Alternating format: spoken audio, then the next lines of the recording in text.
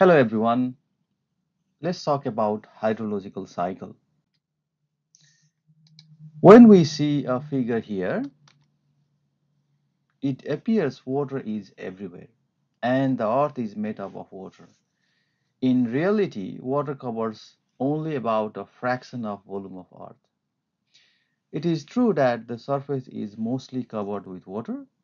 Actually, 71% of surface is covered with water and this gives us a false impression that earth is mostly made up of water. Now let's compare the uh, volumes. So volume of earth is about 1 trillion cubic kilometer, whereas the volume of water is 1.4 cubic, uh, 1.4 billion cubic kilometer. Now let's see the same thing from a different perspective. A big sphere here represents planet Earth and the small blue marble here represents the total water on Earth. Now, all water on, in and above the Earth's surface.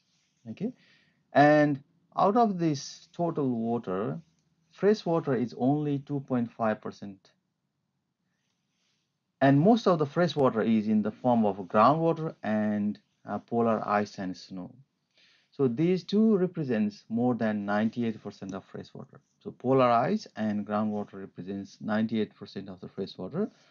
And this uh, smaller marble here uh, represents um, the liquid fresh water. Okay. The smallest sphere here, you can see very tiny small um, sphere here. This represents fresh water in lakes and river. So this is the water that support most of the land animals, including humans and other aquatic animals and plants that need fresh water to survive. So in, in conclusion, we can say that the quantity of water is not as vast as it appears.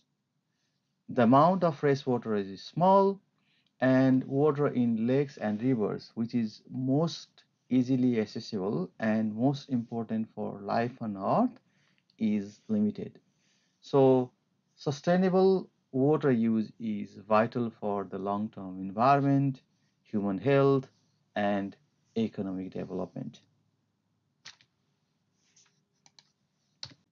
Now let's talk a little bit more about the hydrological cycle. The global hydrological cycle is a process through which water circulates between Earth's atmosphere, ocean, and land surfaces. The cycle involves water movements in the form of precipitation, evaporation, and runoff. Precipitation is the process by which water is released from atmosphere, which can be rainfall, snow, and hail, right? And evapotranspiration is the process through which water is returned to atmosphere through evaporation from the land surface and transpiration through the plants. Now let's divide the components of hydrological cycle in into flux and storage. So what is flux? Flux means the continuous flow, whereas storage means uh, water amount of water stored at one particular location. So precipitation is flux because it is the flow. Similarly, um, evapotranspiration is also flux, uh, but water quantity at one time uh, in the form of water vapor at atmosphere or uh, in ocean is storage. The total annual precipitation and evapotranspiration over land and ocean are estimated to be around 111 okay so total annual precipitation is 111 uh, so the, the dollar values given here is in terms of a thousand kilometer cube. Okay so 111 thousand kilometer cube of precipitation. And out of that snowfall is 12.5 and rainfall is 98.5. So precipitation is the sole source of water on land surface. Okay, so where do we get water on the land surface? It is the precipitation only. Precipitation also occurs on the ocean, over the ocean, and that quantity is 391. So you can clearly see the difference. Over the ocean, you get 391,000 kilometer cube of water uh, from the uh, from the atmosphere in the form of precipitation, whereas land receives only 111. Now, how this uh, 111 comes from? Because it has to come from evapotranspiration, right? So evaporation from land and evaporation from ocean. So the precipitation over the ocean amounts 391, whereas the evapotranspiration is uh, 436, right? So that means 45.5 uh, uh, remains that moves to the land. So land receives 45.5 thousand kilometer cube of water every year um, in in the form of precipitation through ocean and the remaining has to be from the land itself. So the total precipitation that falls on the land mass is 111 which is contributed by 65.5 from the evapotranspiration from the land mass and 45.5 from the water that evaporates from the ocean. So what does this shows that uh, the almost half of the water is recycled within the landmass, right?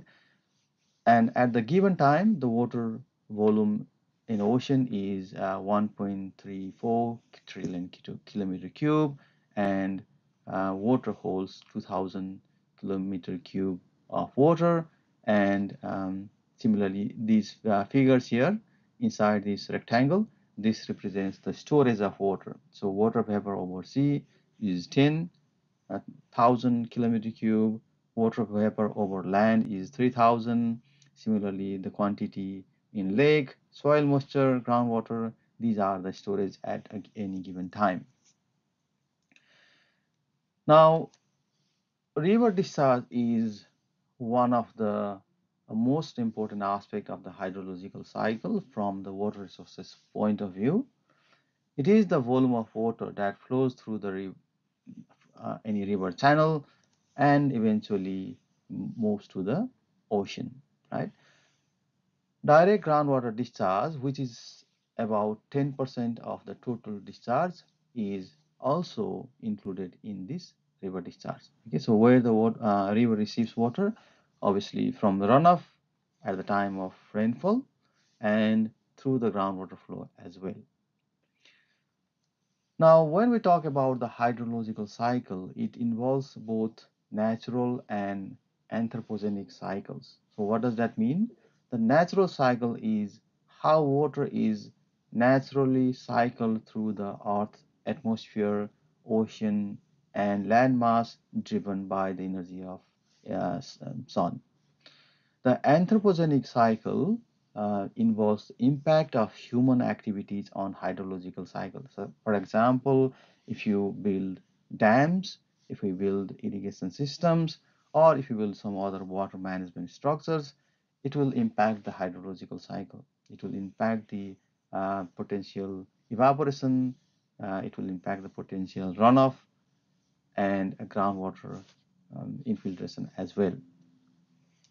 So the hydrological cycle is a complex and interconnected system and uh, as we know it is critical in sustaining life on earth and so understanding the various components of the system and their interaction is essential for managing water resources and mitigating the impact of climate change.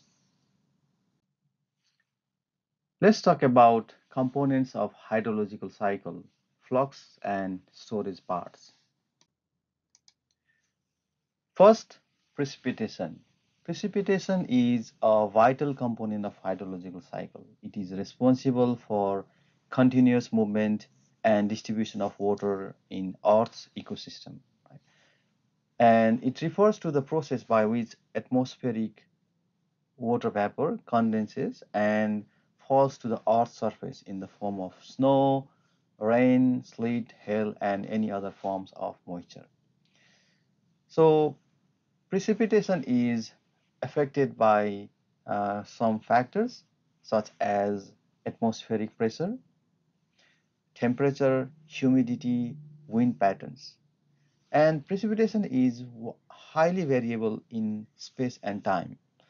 So that means uh, the precipitation amount of precipitation at uh, different places are always different, right? So uh, in some places we get uh, more than 1500 millimeter of rainfall in one year and in some places um, maybe less than 100 right so there are uh, and there are places where you get more than 3000 millimeter of rainfall in one year as well so there is a variation in space and there is also variation in time. So in one particular location the amount of rainfall you receive is always different.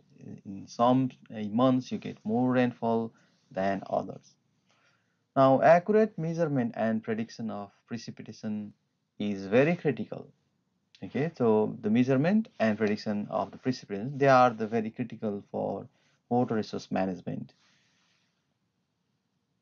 and there are different techniques available uh, to measure the rainfall like uh, radar and remote sensing there are um, rainfall stations as well um, to measure the amount of precipitation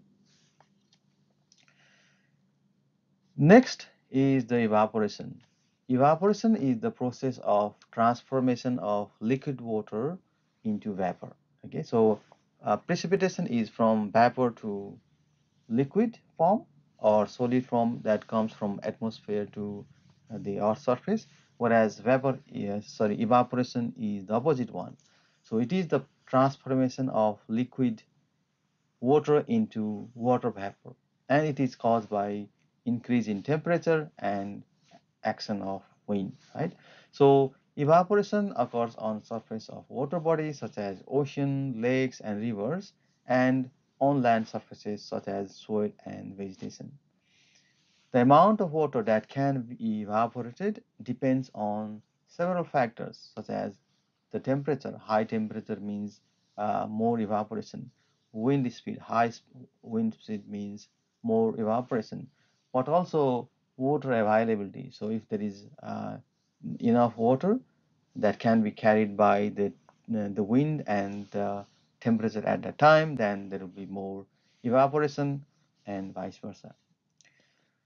Now, precise calculation of evaporation is crucial for all water-related projects, and in particular, the projects that um, use the water stores. Okay, so water uh, storage projects such as reservoirs or irrigation systems or even water supply system. For those projects, evapor evaporation is critical. Okay, so more, more evaporation means less water is available for the purpose of that project. And uh, that's why we need to know the uh, technique to accurately estimate the evaporation and there are different techniques available uh, to estimate the evaporation which include some empirical methods uh, that relies on climatic variables and there are some advanced physical models as well. Now next parameter is the transpiration. So transpiration is the process by which plants absorb water from soil and release it into atmosphere through their leaves okay. So during transpiration water is taken up by plant roots and transported through the plant to its leaves and it releases the water through small pores called stomata. Okay. So this process helps to regulate the, regulate the plant's uh, temperature by releasing excess water which can have a cooling effect obviously. Okay. It's nearly like uh, the sweating of the animals right so This is one of the reason plants are used to reduce urban heat effect in the cities. Okay, so when the water is released from um, from the plants, because of the water, the um, temperature in that area will be reduced, and, and that's why to reduce the urban heat effects in cities, plants are used. So the rate of transpiration is influenced by various factors, including temperature, humidity, wind speed, type of plant, and so on. So for civil engineering applications, uh, we combine the evaporation and transpiration because both process release uh, takes the water from the surface and release it to the atmosphere. So um, instead of um, calculating evaporation and transpiration separately, we combine it together and we call it evapotranspiration. Okay. Next is the infiltration. Infiltration is when water seeps into the ground during the precipitation or irrigation. So when water falls on this ground, then water seeps inside the ground and that is called infiltration. This process defines the amount of runoff from the area and the groundwater recharge. So when the water falls here, either it has to go inside the ground or it has to move on the surface. And uh, that will define what is the amount of runoff and what is the amount of groundwater recharge. So what are the factors that affects the infiltration? Infiltration is controlled by the permeability of soil. Okay, how permeable is the soil? So that is one of the factor. Infiltration also depends on uh, soil texture, compaction of soil, slope of the soil. So when it is steep, there will be less infiltration, vegetation cover, and so on. So as we know, when soil is compacted, infiltration rate can be very low, uh, resulting in increased runoff and reduced groundwater recharge. Similarly, infiltration can uh, be uh, limited in areas with steep slope, and that means uh, it may cause higher erosion and also um, sedimentation. Vegetation cover can significantly affect the infiltration rates. How? Um, because it improves uh, the soil porosity and it enhances soil structure. That means it allows water to infiltrate. Okay. Now next is the runoff. Runoff refers to the flow of water over the land surface after precipitation. So this is the amount of water that does not infiltrate. Okay. So when the rainfall occurs, uh, some depending on the capacity of the soil, infiltration capacity of the soil, uh, some of the water will infiltrate inside the ground and the excess amount will travel uh, downward, okay, towards the downslope. So it, the water finds the downslope and then it travels towards the downslope. And eventually it flows through the uh, through the river and then it goes either to lake or, um, or eventually to ocean. So the amount uh, and timing of runoff can be influenced by very very very very, uh, very different uh, various different factors such as intensity and duration of rainfall. If it is the duration of rainfall is long, then you may get a different kind of uh, runoff. If the duration of rainfall is short, you will see you see the different kind of runoff, uh, and also uh, for the different intensity of run um, rainfall, the runoff timing and runoff duration would be different. So we'll look at this in uh, in a great de detail later. So how we convert the rainfall into different uh, runoffs. This also depends on vegetation and obviously topography. And there are different hydrological models available to estimate the amount of rainfall that can be expressed, that can be expected uh, in a particular catchment or basin. Okay, so um, when there is rainfall, how much water will come uh, out of that particular basin, we can calculate using different hydrological models.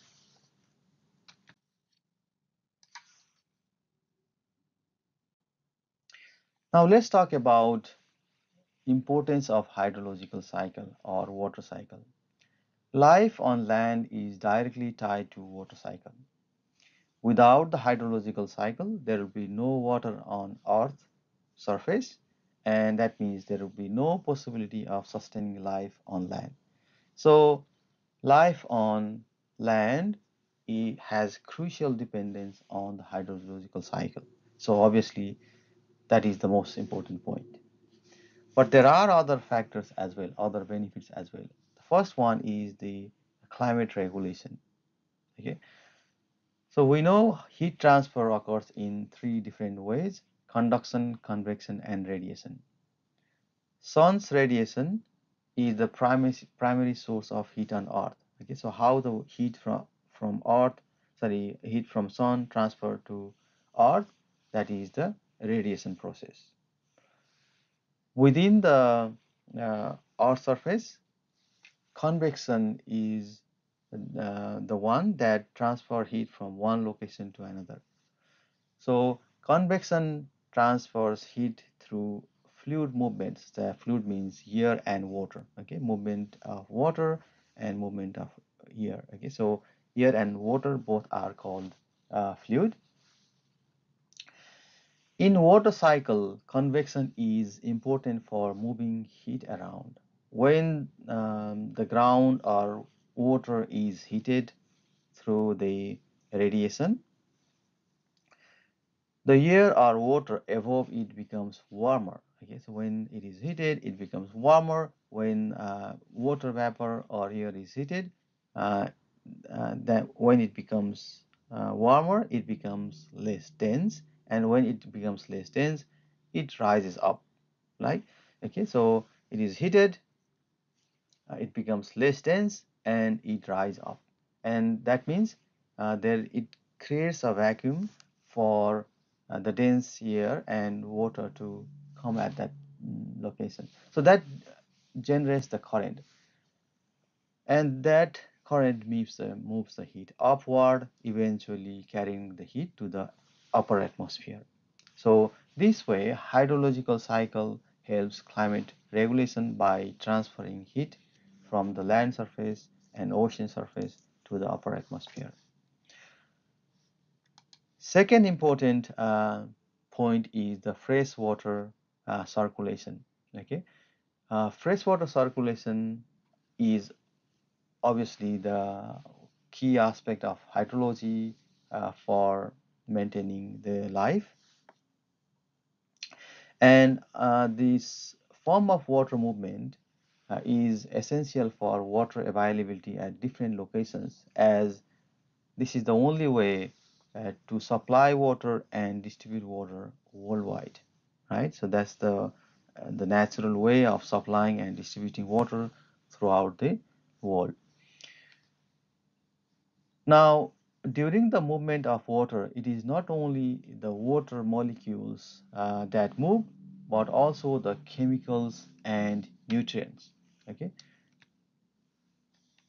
So um, when we talk about the movement of water, it's um, not only uh, the water molecules, but it also moves the chemical and nutrients at the same time. So this movement of chemical and nutrients is essential for the growth and survival of plants and animals and the distribution of water around the world helps to support the support this wide variety of ecosystem okay? So uh, when water falls on top uh, area of the catchment and then uh, through the runoff it uh, it is not only the water that moves down but also sediment organic matter as well it moves down and that is available for uh, the plants mm, uh, downstream right and when water infiltrates inside the ground then um, various nutrients and chemicals are dissolved in water or um, insoluble uh, nutrients also is transported by water to downstream so the movement of water and movement of chemicals both are important. The another important aspect is the uh, disaster mitigation. Okay, when water moves, um, uh, it can lead to natural disasters. Okay, depending on the quantity, it can lead to floods, it can lead, lead to droughts, and it can lead to landslides. Okay, if the quantity of water is very big, uh, it can create floods and landslides. Um, so when the quantity is big, uh, floods, when the intensity is high, landslides, and when the quantity is small, then it creates um, droughts. So understanding the factors contributing to these disasters such as rainfall patterns and soil condition, it is, it is important uh, to develop effective disaster mitigation, mitigation plans. Okay, so um, studying water and its environmental movement uh, in hydrology is critical for developing such plans. Okay. Now the another one is the economic uh, uh, benefit. So there are other uh, economic benefit also. So hydrological cycle provides um, uh, water at the upstream of the Caspian, which can be used to generate hydropower, right? So hydropower is the renewable uh, energy source, and it it depends on the movement of water. Okay, we need to have water um, in the stream to generate the electricity, and hydrology hydrological cycle is the only source of water, except in the pump hydros. Um, hydrological cycle is only source of water, right? Similarly, navigation is uh, another economical benefit. So when the water is in the river, then we can use that as the for the navigation purpose. So these are um, some of the important aspects, uh, important benefits of the hydrological cycle.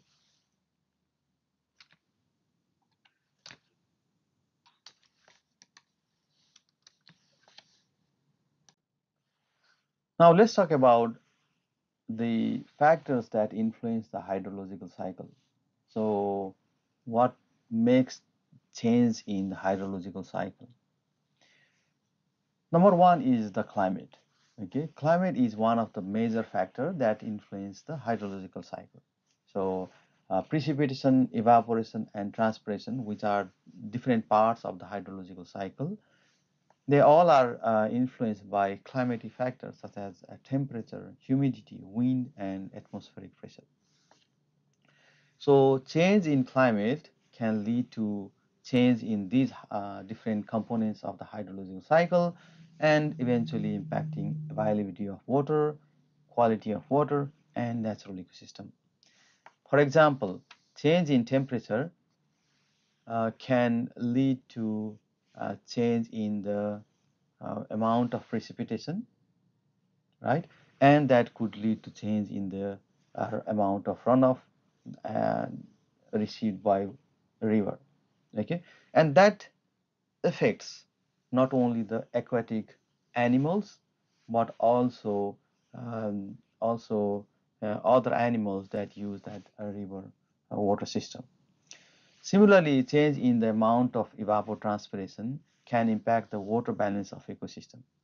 Okay, and it can lead to change in vegetation, soil moisture, and groundwater recharge. Land use is another factor.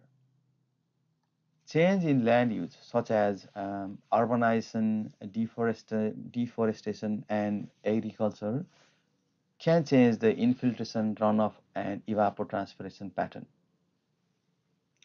And this change can lead to long-term water balance uh, change as well. Okay, so if the infiltration, runoff, and evapotranspiration pattern is changed, the water balance of water balance of that that particular system will also change. For example, um, when we do urbanization and convert the natural land into impervious surface like buildings and roads, it will increase the surface runoff. Okay, uh, there will be less uh, infiltration inside the ground because of impermeable uh, roofs and impermeable um, roads and that means uh, there will be more runoff available at the time of rainfall and that means increase in flooding. Similarly deforestation can lead to a reduced interception of rainfall which means increased surface runoff and re reduction in groundwater recharge.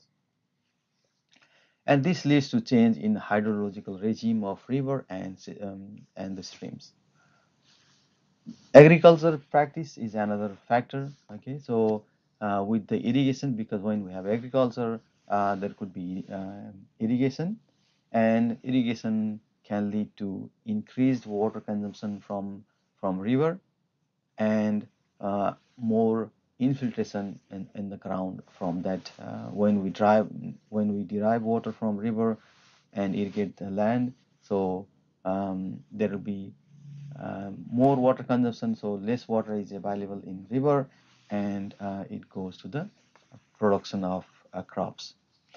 So that will have uh, also effect in uh, the hydrological cycle.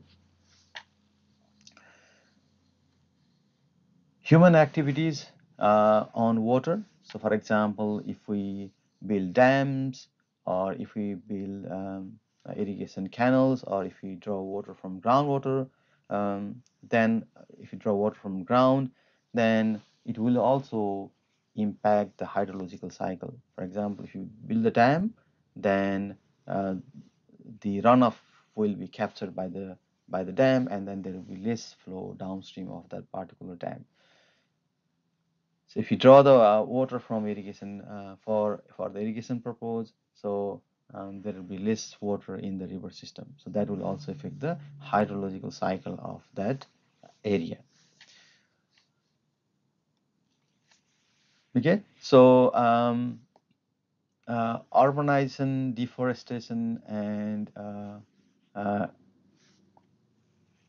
and um, the ag agricultural activities all are also the human activities, but they they impact in the form of land use. So we change the land use pattern whereas direct activities on water are like um, building the dams building the reservoirs um, drawing water from ground building irrigation canals and so on. Next aspect is the geology. Geology also affects the hydrological cycle. Uh, geology of different location would be different and uh, the types of rock, soil, and soft surface uh, structure of the catchment determines how water moves through the system. For example, if there is a permeable soil, um, then it allows for greater infiltration and groundwater recharge, whereas if, if the geology has more impermeable rocks and clay and shale, it can lead to increased surface runoff and decrease infiltration okay? So uh, the structure and orientation of rock layers can also influence groundwater flow patterns the uh, the presence of macropores the uh, pipe-like structures inside the soil that will also affect the uh, uh, groundwater flow and ultimately the hydrological cycle Uh, the last one is the topography. Obviously, uh, topography or the shape and the elevation of land surface can affect the hydrological cycle by uh, influencing the water movement. For example, when it is the steep slope, then it can lead to rapid runoff. And when there is rapid runoff, when the velocity of water is high, it can lead to erosion uh, compared to the flat areas uh, where the velocity of water is less and the erosion will be um, less. And when it is a flat area it the uh, the velocity of water is uh, slow. And that means it promotes the infiltration and groundwater recharge.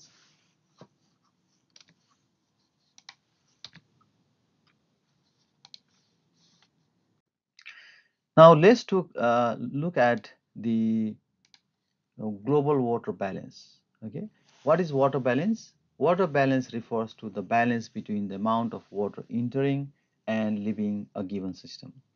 So if you look Earth as a whole from space, there is no water entering and leaving the system, right? But within the Earth, there is movement of water, and we can uh, see where the water is moving and how it is moving. Okay, and that defines us the global water balance. So um, the main the main important components of uh, the um, hydrological cycle is evaporation and precipitation, right? So that's the biggest part. Evaporation over ocean is 436 and evaporation over the land surface, uh, evaporation and transpiration combined, total terrestrial evapotranspiration on land surface is 65.5, right? And the amount of rainfall and or precipitation, precipitation over ocean is 391 and precipitation uh, on the land surface is 111 okay now if you compare the evaporation over ocean and precipitation, there is excess evaporation, which means some of the uh, evaporation evaporated water on ocean moves to the land surface and eventually supports uh, the pre precipitation on land. And that quantity is 45.5 so all the quantity here is in terms of 10 to the power 3 kilometer cube per year okay? Now, out of this um, uh, uh, total precipitation, rainfall is 98.5 and snowfall is 12.5 on our surface. Now we can also see um, how much is the uh, evapotranspiration. So from forest, uh, this area, uh, 29, similarly from wetland, 0.2 and from cropland 7.6 from grassland 21 and so on so this way we can calculate where this evapotranspiration is coming and uh, we can also divide where this rainfall is going right so 54 in this uh, forest area uh, 2.4 in lake area and um, 11.6 in the cropland and 31 in grassland and so on. This uh, figure here with the rectangle shows the quantity uh, stored, the amount of water stored at one particular time. Okay, so this is just one snapshot at any one given time only. So these values may change. Uh, it's not constant. It, it can change at any time and it is constantly changing. But at one particular time, just give uh, one snapshot okay so this is uh, water vapor over land is 3 water vapor over sea is 10 um, amount of water stored in uh, river is 2 okay and similarly soil moisture is 17 lake is 175 and so on Now let's talk about uh, the catchment water balance. So when we talk about the water balance, uh, global water balance, it was the water balance of uh, the whole earth. Um, now when we talk about the catchment water balance, it is the water balance within the catchment only. So water balance, as we mentioned before, uh, is uh, the study of what is the inflow and what is the outflow, right? and what is the amount of storage. So if we want to write this in the form of an equation, inflow minus outflow is the change in storage. Okay, so inflow in the form of rain, snow, sleet, uh, diversion from outside of the catchment, uh, groundwater from outside. So these all are the inflow in a particular catchment. So let's talk about the catchment first. What is catchment? catchment, which is also known as watershed or drainage basin, is a geographic area of the land that is defined by the natural boundaries of high points such as rills, sorry ridges and hills and that separate is from neighboring areas okay? So what basically that means is all the water that falls within this um, uh, catchment okay? All the water that falls within this catchment uh, eventually reach this outlet. Okay so this is Fitzroy River catchment so water droplets that occurs um, that falls anywhere in this area eventually comes to that point. Okay so from from this point it is always downward and then uh, eventually it reaches to this point. But if the water falls just outside it will have different uh, downslope right? And then it will go to some another uh, catchment and so on. So all the precipitation and surface water such as river and stream flow to uh, one particular point. So the lowest point in the catchment and leaves the catchment from that point. Uh, assuming there is no lakes right? So uh, then it will be slightly different. But if there are no um, depressions like lakes in the catchment, then obviously everything will uh, flow to that the lowest point of the catchment uh, and then leaves the catchment. now the size of catchment can um, be different it can vary greatly from small ones small catchment of few hectares to uh, very large countries in sometimes uh, multiple cities or multiple countries as well okay? So for example uh, if you if you are looking at this uh, uh, Isaac River okay? So this is the Isaac River here in the Fitzroy right? So this is Isaac River. If you look at this catchment then this area will be the catchment of the Isaac River okay? So this is the uh, catchment area of the Isaac River.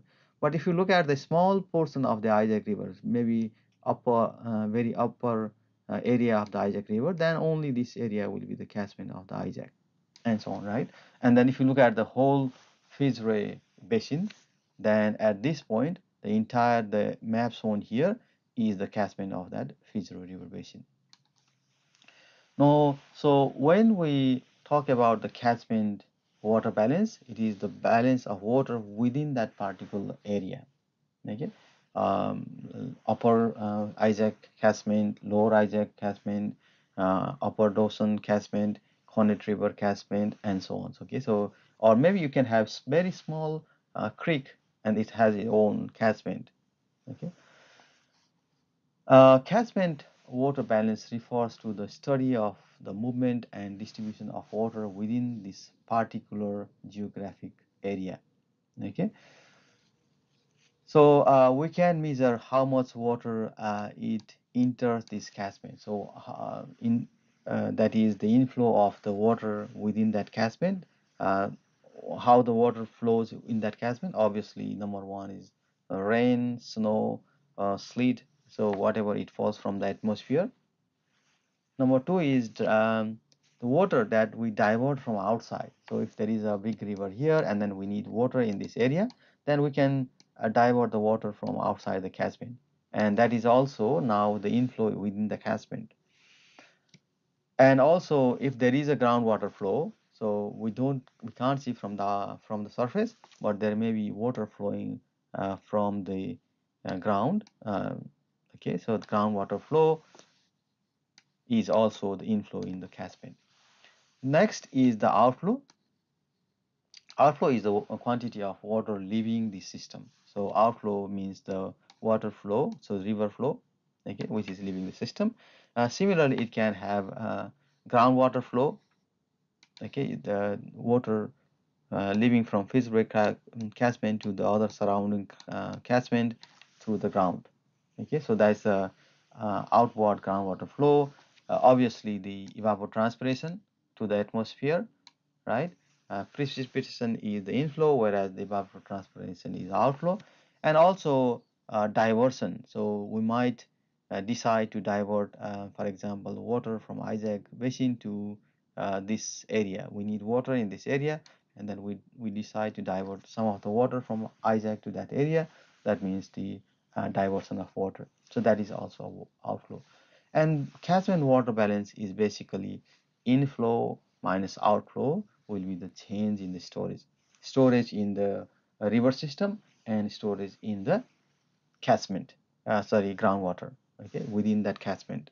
So how much is the change in the river uh, system and how much uh, is there is there a change in the groundwater that defines the change in the storage. So that's the basis of the catchment water balance. Inflow minus outflow is the change in the storage. Now, um, we can define the uh, water balance in uh, different forms. So even though it is the inflow minus outflow, um, we can generalize this inflow minus outflow in different forms.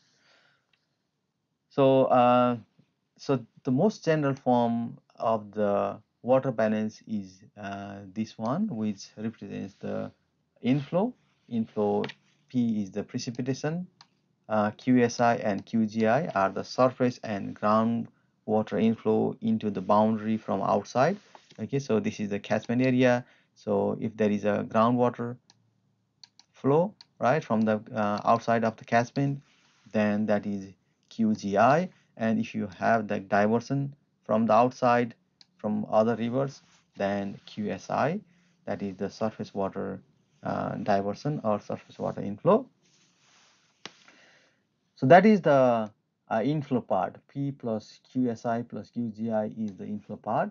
And the outflow part is the next one, right? So here E plus, uh, so when these are brackets, so it is, should be plus, okay? All these values. E plus QSO plus QGO, these are the outflow, okay?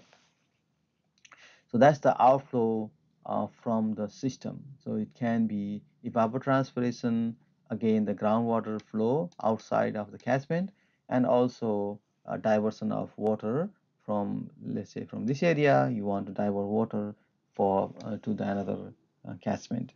Okay. And that will um, uh, the, gives us the total outflow minus the change in storage.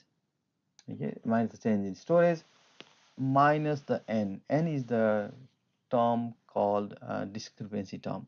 Okay, so uh, we may not be able to exactly quantify all the inflows, all the outflows, and all the storage, obviously, um, because we need some, uh, we use some kind of estimation uh, techniques, but that will not give us uh, accurate results. So there will always be some kind of discrepancy, and to balance that, uh, to balance the equation, we use discrepancy term n. So this is uh, the most common version of the water balance equation, the most general version of the water balance equation for catchment. Now we can simplify this depending on uh, our application. So if it is for the large river basins, then we can just say precipitation minus evapotranspiration minus the uh, river flow is zero. Okay, that's the equation. P is the inflow minus E minus Q equals to 0. So what is the difference here? We are not considering the storage because we, we can assume that uh, storage um, is constant before and after for a very large basin. There is not much, uh, there wouldn't be difference. And also, uh, if there is some groundwater inflow, there will be some groundwater outflow and the assumption is that that is also balanced okay? So that means the simplified equation is in the form of precipitation minus evapotranspiration minus outflow from the in the form of discharge equals to zero. Now the next one is the water balance for water bodies for example lake. So um, how we uh, simplify that equation inflow minus outflow is the change in storage. Okay here the storage is important. So when, when we talk about the about a lake for example so what is the average inflow? What is the average outflow from the lake will change will give you the change in storage of water at that particular lake or reservoir. Okay so when we talk about uh, the water balance of water bodies then it is important that we include the storage. Whereas when you talk about the large uh, river basins, then uh, that is not very important.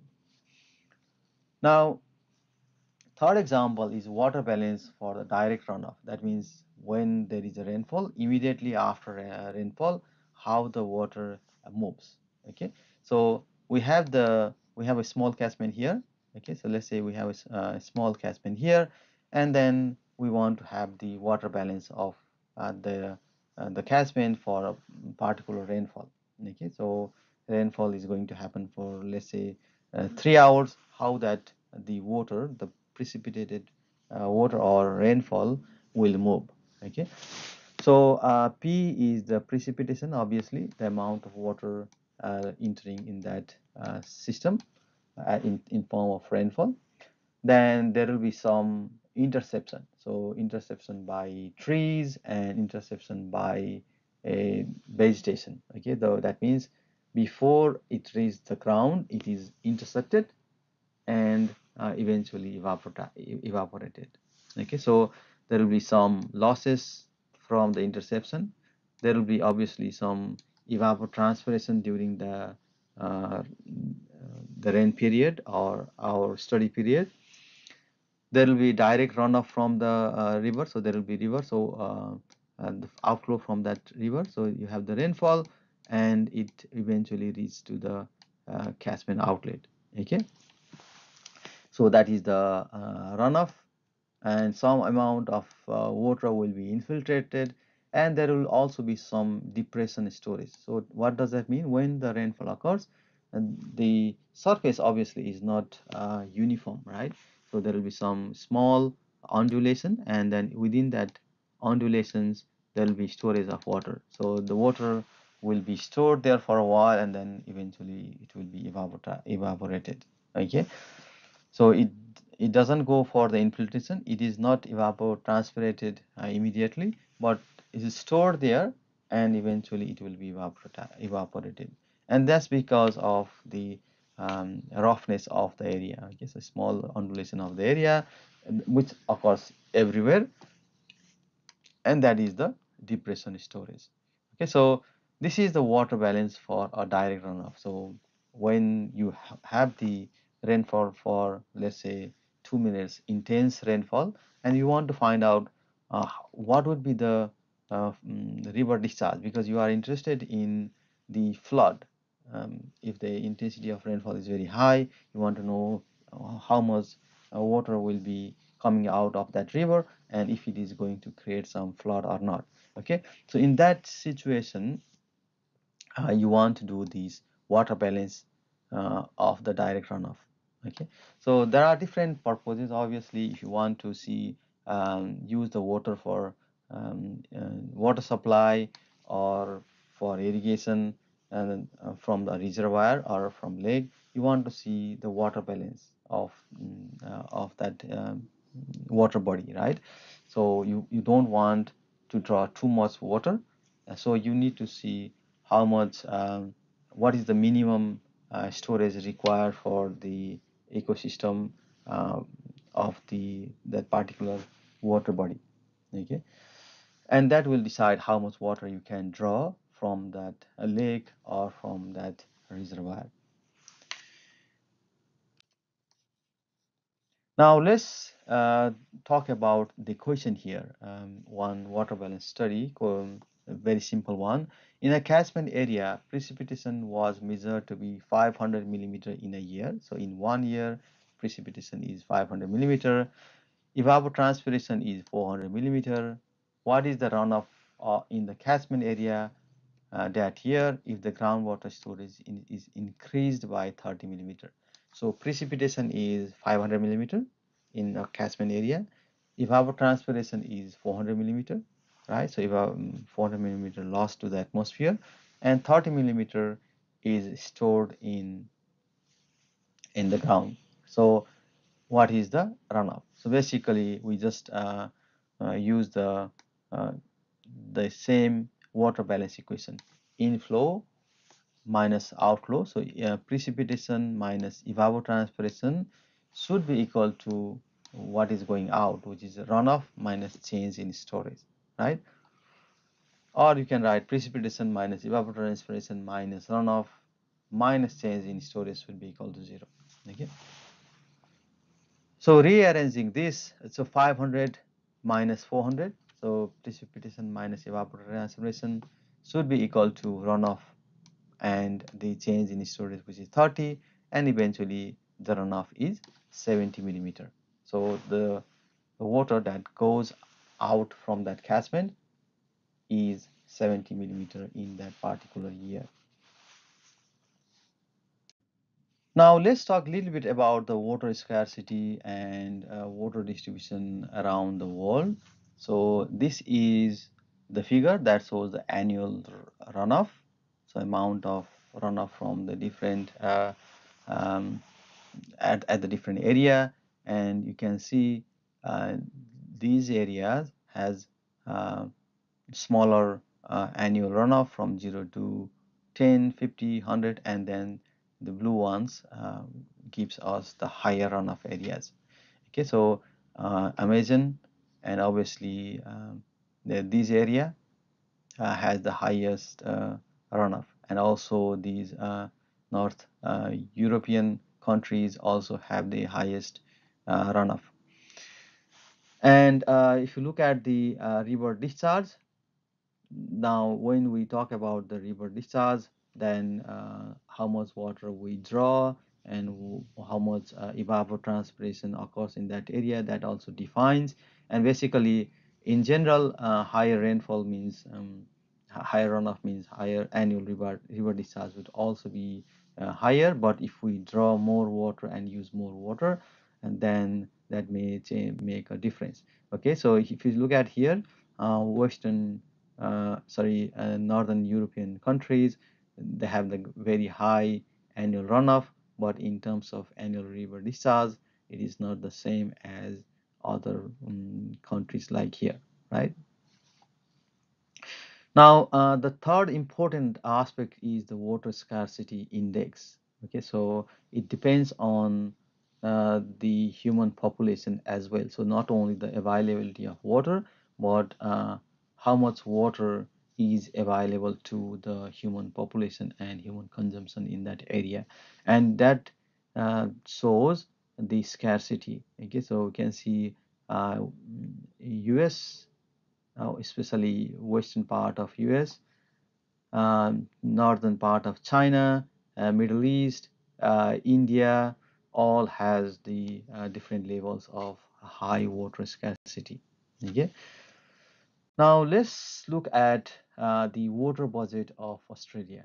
So the table here shows the average annual rainfall and runoff in millimeter uh, for different continents. Okay, so Africa 690, is the rainfall runoff is 260 and the percentage of runoff is 38 percent so out of um, the total rainfall 38 percent uh, goes as the runoff whereas um, in South America 57 percent converts to the runoff but in Australia if you compare here this uh, rainfall obviously is low but uh, runoff is significantly low. So that means most of the water is lost either in um, evapotranspiration or, or recharge inside the ground, right? So, uh, but um, this figure doesn't tell us if it is goes for evapotranspiration or infiltration, but it just says most of the rainfall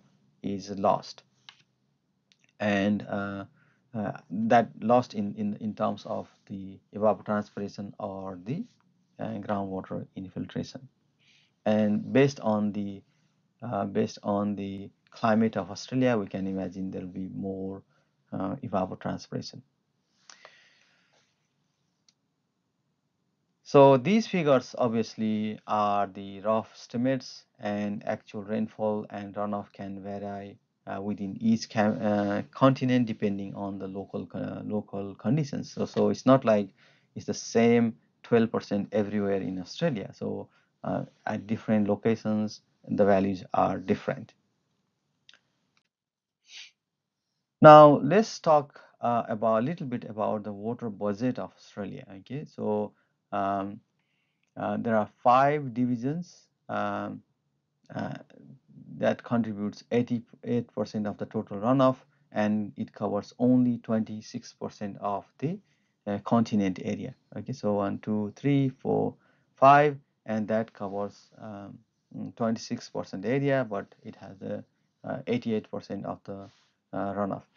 Now it is important um, to know that the the distribution of surface water is not uniform, right? Uh, as everywhere, uh, we can imagine the uh, throughout the world, the distribution of water is not uh, uniform, obviously. And same happens here as well. The distribution of water is not uh, same throughout. bulk of the water is in tropical north, right? So tropical north and this uh, Tasman area, uh, which are generally um, outside the major population center, right? So um, uh, these these you can see this figure here. This shows the uh, major population. So where, where the population concentration is here, but uh, in the east side and uh, in the Perth area, but the actual water availability is at the north. Okay, so this area we have water, but population is here. Okay so uh, this uh, puts the stress in water in this area. Okay so because we need water here because population is there and that means we need to draw water from whatever available in this area for human consumption for irrigation and all those purpose and that put pressure in the ecosystem of the rivers and water uh, available um, availability of that area